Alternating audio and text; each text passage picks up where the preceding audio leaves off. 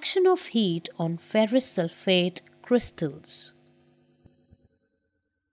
Hold test tube B with a test tube holder and add to it ferrous sulfate crystals and heat it in the Bunsen burner and observe the change.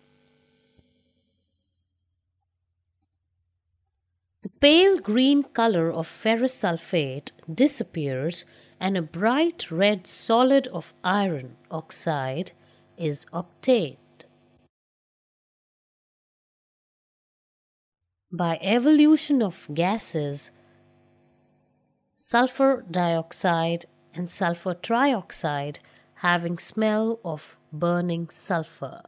The chemical reactions involved are as shown.